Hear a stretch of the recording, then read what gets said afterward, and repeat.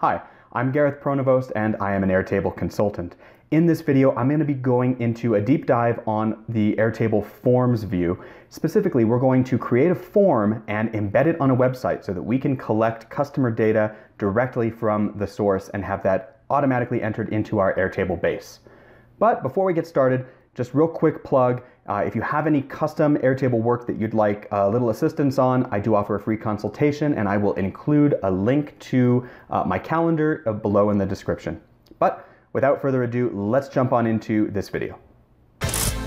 Welcome to Entrepreneurship by the Numbers, where we help unlock the potential of your business with data-driven metrics. Okay, so jumping into Airtable here, this is our uh, beginning base. And this is the grid view. This is kind of the default view for Airtable, and I think most people are probably familiar with this because it's very similar to Excel. Uh, so what you'll see here is we are creating a customer service ticket um, entry for our website. So the idea here is uh, for this example that people will come to our website and they say, you know, they want to create a new ticket for some customer service issue, and so we want to collect the data around that ticket. So jumping into the uh, grid view, we've got a ticket number formula here that is automatically generating. Uh, we have the auto number, and this is just a ticker that counts, you know, one after another after every record. Uh, we'll, we'll have a customer entry where they can enter their name, email, and phone number in three different fields. We have a date timestamp that's automatically creating. Uh, we have a priority list where the customer can select high priority, medium, or low. We have an attachments where they could, you know, say attach screenshots or something like that. Uh, you know, notes section where they could add more description.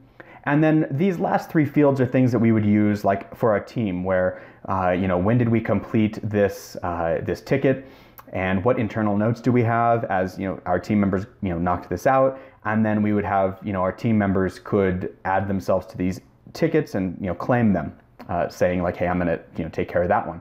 So if you're managing a big team, this is a great way to kind of build this all out so that everybody has access and uh, and knows what uh, their responsibilities are, and also so that managers know you know who's handling what.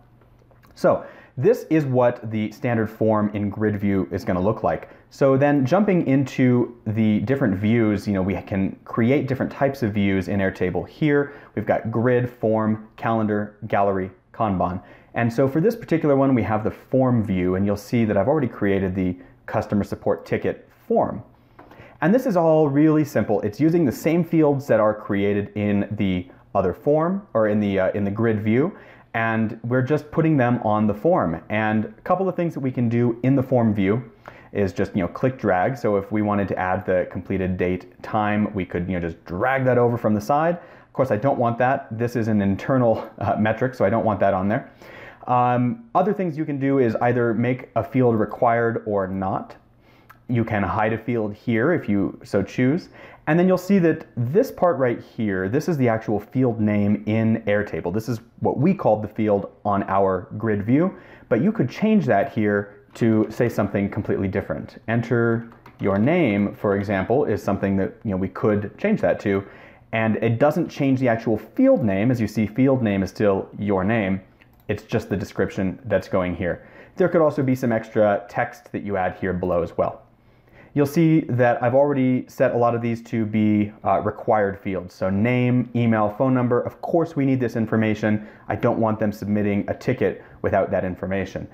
Um, and then of course I need to know, you know, what's the priority of the ticket. And then if they want to attach any supporting documents, I want that on there, and then the description of the issue. And the, uh, the date completed time, this uh, we don't want up here, so we want to hide that.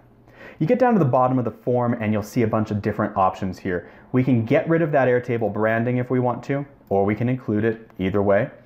Um, and then you can choose a redirect so that after the form is submitted, you can send them automatically to another URL. Uh, so if you had you know a reason to do that, great. Uh, you've got a, a, you know a thank a thanking message, you know the message that you show them after they've submitted. Uh, you can give them the option to submit another response. You can automatically generate a new blank form after five seconds, or you can require that you get emailed a notification that a new record was created. This is an important one, I think, for any customer service type team, so I've selected this option. So now getting into the sharing of the form, you've got a couple of options. You could just create a share of that form here and you know you can have, you have different uh, accesses that you can grant people, restricting it with a password, for example, or restrict it to an email domain. But if you just wanted to have a, a really basic and easy um, you know, link to share, you could just share this link and now people could enter from that form. But I think the better option in many cases is to actually embed this form on your website, on your company website. So let's go ahead and grab that. So we click on embed form and you see that we have uh, some code right here. This is the embed code. So most of websites these days are uh, generally uh, built around WordPress, so that's what I'm going to be showing in this example. So jumping into a WordPress example, we go to our pages and we just add a new page. And while that's thinking, uh, let's call this page customer support. And on the uh, text version, we're just going to drop in that, um, that code that we picked up from that Airtable, uh, uh, that Airtable link just a moment ago. We can go ahead and publish this and it's really this simple. All we're doing is embedding this code on a blank page and uh, I'm gonna go ahead and jump out of Airtable and instead go visit this particular part.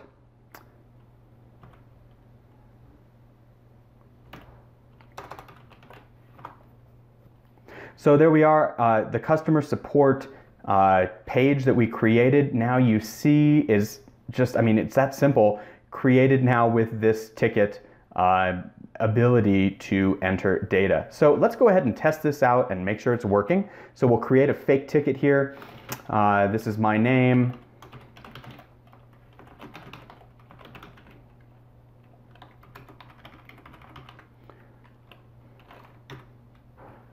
And we just have to you know, fill out all of the requirements here.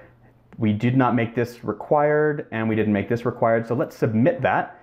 It says, thank you for submitting the form, fantastic. And now if we jump back into our Airtable grid view, you see that we've created that new one. Now this data was entered automatically uh, just from that form that was just embedded on our website. And there you see it's popping up in my email. It's telling me that someone's given us a new ticket. So that everything is working correctly and it's looking pretty good. All right, as always, I hope you found this to be super helpful. If you enjoy this kind of content, definitely click subscribe and don't forget to reach out if you have any questions or comments. In the meantime, best of luck as you continue to grow your empire.